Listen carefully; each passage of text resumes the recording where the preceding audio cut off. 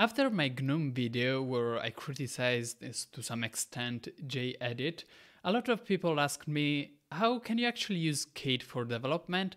And I think that a lot of people actually uh, underestimate Kate because it's a beautiful application with lots of features and you might not know about some of them.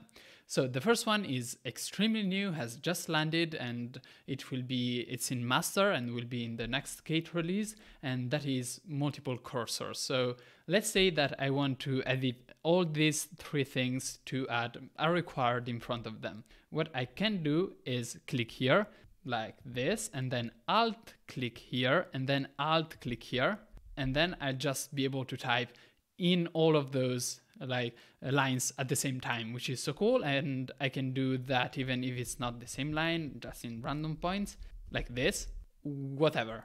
It's amazing. And it's not just this, you can also invoke this by going here and then pressing, I need to read this one, Control Alt arrows.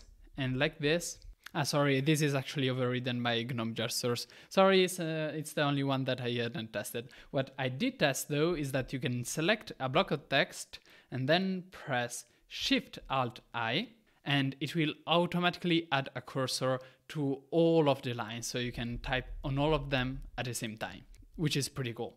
If that wasn't enough, you also get not only multiple cursors, but also block mode. So what is that? You can go Control Shift B and you can enter block mode. And uh, if you select, you will see that it's actually blocks if you select them. And in theory, you can just do like this and it will work similarly to before, as if you had multiple cursor, but it will actually completely disregard the flow of text and act if everything was just, just like spaces, just like this. This is actually extremely extremely useful if you have like multiple rows of i don't know it's like a csv and you need to edit that. It happened to me. Super useful. You can just take this delete and it's like the whole block gone. Block mode is like my favorite feature that few people know about. If block mode wasn't enough you can also go into edit and then select inside of uh, input modes the v mode which actually makes it behave like V if you use V. Now, unluckily, I have no clue whatsoever on how V works, but I know lots of people like love it. Was this is insert, okay? So I, I managed to insert something, and then it was like a no. This is where my knowledge of V ends. I know I to insert text, and that's it. If you know V, this might be of more interest to you than it is to me. The next one is similarly, let's actually control Z that. If you use something like Macintosh, you know, there's Spotlight there and it allows you to search uh, through actions. And you also get this in here, as in most KDE apps, if they are updated. If you press Control Alt I, you can actually search through all of Kate actions and you also get how to invoke them. So if I completely forgot how to find something, I can type search as an example or find. Here is it. Find is Control F, replace is Control R, and so on. I can type, I don't know, block mode and it's Control Shift B as an example, cursors, stuff like this. Create multiple cursor from selection. The one I showed you before is Alt Shift I, and so on. Alt Shift Up also move cursor to previous matching indent. So if you ever forget about some shortcut or some action, you can just press Ctrl Alt I and that's it. That's the only one you need to remember. Next one is the split view because of course split view is not that complex, but it's easy to forget just how powerful the split view here is. So let's split like horizontal.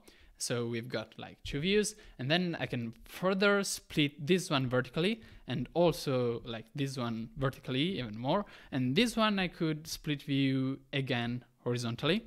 And all of this is drag and droppable. So you can customize whatever amount of views you want to whatever layout you want. And uh, I mean, it's really easy to forget that you can actually do all of this. And to close them, maybe I remember the shortcut. I think it's Control Shift R. Yes. And just like that, we are back to normal. Next one is pretty cool, pipe to terminal. So if we have a file, and by the way, you also get a terminal, I keep it on the right. But I mean, this is normal stuff, right? Just a terminal. Let's actually zoom in here. No, it won't zoom in. Thank you, GNOME overriding my keyboard shortcuts. Let's say that I actually write some command here, like hello world. I can go to tools and then I can pipe the content of the kit file to the terminal like this. And you can see here, hello world. And I can type anything here, like as an example, this one. And then I just go here, tools, and then I pipe to terminal and then it will actually do it. Let's not do that. And this is the terminal. Next is scripts, and let's zoom in even more. Oh, by the way, in Kate, you can uh, you can actually zoom in the text by default out of the box without needing some third-party uh, plugin. If you have a number, let's say, you can go into Tools, and then inside of Scripts, Emmet, and then you can decrease number by one which sounds cool. Of course, uh, it was faster to do it by hand, but what's the point? So in here, you actually get whole sections of, of scripts, which can, like, you call them and they can edit your text, making your life simpler. As an example, if you work with HTML, uh, you can like select HTML tag contents it inwards or outwards, and you can set keyboard shortcuts to all of these. As an example here on navigation, you do get some with uh, some uh, in here as well with shortcuts, and uh, you probably can also create your own. I never did that. Maybe if you want, I can investigate to do a video about that if you're interested. But the sole fact that you have scripts and they can edit your file like in whatever way, like 10 plus 11, and then tools, uh, scripts, Emmet, where is it? Evaluate a simple mathematical expression, and that's it. Uh, that's just cool. Like, then if you need it, uh, if you don't know how to spell in English, you do actually get spelling and uh, in here you can select the correct word. By the way, if you see that the selection is a bit bugged, that's because I'm currently in GNOME and I'm forcing Breeze from KDE to GNOME. That's not really working beautifully, but that's on me. Anyway, as I was saying, spelling, you can actually select the correct word, which in, in this case was hello. So you do get, if you need it, uh, spelling checking. Then you also get sessions. So to explain sessions, let's actually get back to my important files, which is this one. And let's do a bit of split view. So let's split vertical and let's take main QML and config overlay. So I can go into sessions, manage them, and uh, I can do a new session and it will be empty. And I should be able Sorry, I had forgotten an important step. Session, you can save session as uh, this is for editing panel. I'm putting space in here so that some developer somewhere gets angry. And then I can just do a new session, which will be empty. And then in here, quick open, this is for editing panel, and everything will be brought back to what it was. So it's a bit like, I don't know, activities if you use them but just inside of Kate. So if you're editing some files, you can just create a session to edit those files because maybe you edit them frequently. You can even like the session will save, as far as I know, all of the views. And uh, like as an example, let's do a new session. And then in here, let's close the view. This, yes. And then a quick open this one. And I get back to the split view exactly how I resized this pretty useful if you frequently edit some files and you do split view between them. This is very fast. What else? So let's take this file as an example. You will notice, I mean, there are some like nice features which are not super important right now. Like as an example, if you have begin, then you can actually type a word here and you can do code folding till end, which is nice. And you can also do fix me and to do and this will actually, you know, highlight this word. Let's add another to do as an example, like this. Now, if I'm in the file and I forgot what I was doing, I can go inside projects. And in here, I have project to-dos, which will actually, let's resize this. Let me see all of the to-dos in my project, which in this case is not just this file, but all of the files in the project that I have, which in this case is Plasma Desktop. So what you're seeing right now are all of the to-dos in all of Plasma Desktop codebase. Interesting, right? And of course I can search between them. I don't know. Okay, that, that was enough to break it. Well done, Niccolo. And uh, it's very nice how this is actually a search and replace. So technically you can see that you have tabs. So a feature is that you can do tabbed find and replace. Cool. so I have one last, which is simpler, but I think we should also appreciate how cool the sidebars are. So here you've got documents, which open up all of the documents that you've opened, preserving uh, the folder structure only for the documents you actually have open. This is my favorite sidebar. I keep it open all of the time. Then you also get, get project, which will show you all of the folders inside of the project, which as you can see is Plasma Desktop, the name is here. You can even switch between projects by clicking on the name and it will also show you the branch. And if you click on the branch, you can create a new Git branch or you can switch to another one, like just like that.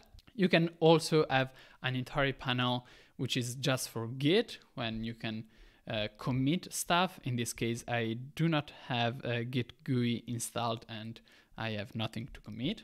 Fair enough. And uh, in here you can see I can do git push, git pull, and everything related to git. So I don't even need to open up the terminal to use git. It's just everything of it. It's here. Yeah, uh, yeah, sorry, I, I can't commit. I understood that. Sorry about that. Let's close this. I also get a view with the interfile system because, I mean, and I can drag and drop. Do you want to load all files? Nope. So if you want to uh, open a directory with a lot of files in it, you just drag and drop it and it will open all of the file inside of that directory recursively, which is pretty cool. Then you also get, of course, the terminal. You get the output for things like Git, then the search, the project, which is uh, like uh, code analysis and stuff like that. Personally, I never used this one, but uh, if you do use these things like Python code analysis, this might be useful to you. You can even type notes about your project. And finally, uh, the last one of the last features that had been implemented to Kate is that you can actually now see the path to the uh, to your files here at the top. Let's close this one. And you get here, you can see my main.qml is inside of containment panel contains contents UI. And if you click here, you can quickly select other files within here. And if you click here, you can quickly select other folders and files inside of them. So you can very quickly switch between files just thanks to this very like, it's a breadcrumb, I think it's called that, probably not pronounced like that, uh, just inside of Kate. And that was everything from my side. This is like 15 minutes, 15 minutes of Kate being awesome. And honestly, I could go on. It, this is just the features that I know of that I quickly saw, and some of them I use like every day, like block insertion is so cool. And now that I also have multiple uh, cursors, I'm gonna use that, believe me and uh, some of them I don't use, like the V mode. Sorry, I haven't learned V. And uh, you know, if you do development right now and you want a light, lightweight code editor, maybe it's not like a full-fledged uh, IDE, but it gets very close. See you tomorrow.